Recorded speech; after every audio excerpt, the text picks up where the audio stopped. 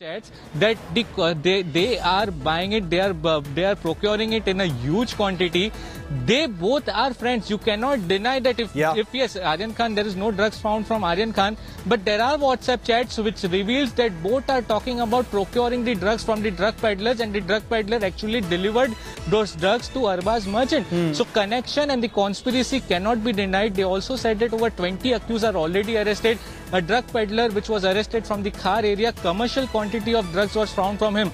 A drug peddler was also arrested from the Goregaon area. A commercial quant- quantity may have not been found, but the WhatsApp chat between that particular accused and Arbaz No, because this this shows that how- changes the argument completely, Saurabh. And I want to bring in Divyesh also, who's with me live from the Narcotics Control Bureau. Divyesh, you know, so far the argument has abo- has been about whether Aryan had any drugs in his possession. The Narcotics Control Bureau had to admit that they had found nothing on him. That has been the core of uh, Aryan and uh, uh, Satish Maneshinde, his lawyer's defense in court as well.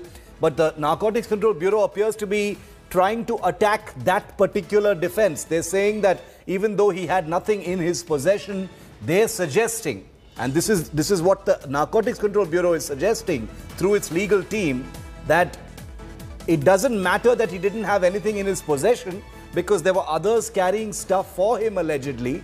And there are these WhatsApp chats which are talking about procurement of drugs in commercial or bulk quantities. Correct me if I'm wrong, Divyesh. This bas- basically takes the entire case to the next level based on what the Narcotics Control Bureau is saying.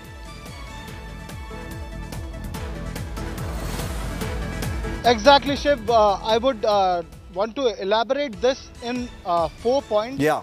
The first point that the ASG for NCB made was regarding the Panchnama. During the seizure that happened on Arbaz Merchant, that was 6 grams of charas, the Panchnama done by NCB as hmm. per ASG Anil Singh was for both, for was for consumption of both Arbaz Merchant and Aryan Khan.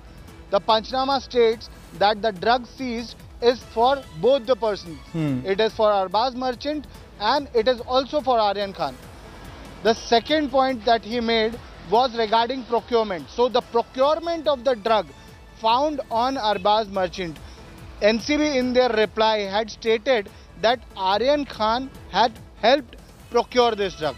Right. Third point is regarding the WhatsApp chats. Again, what was pointed out uh, by Saurabh and what you had brought up, that bulk quantity purchase communication was found regarding purchase of bulk quantity of contraband and there were there was a mention of hard drugs as per NCB officials.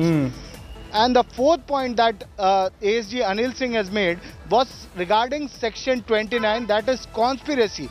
So he again explained the section 29 of NDPS on why section 29 has been applied against Aryan Khan, against Arbaz Merchant, and all the accused, all the 20 accused arrested over here in this particular case.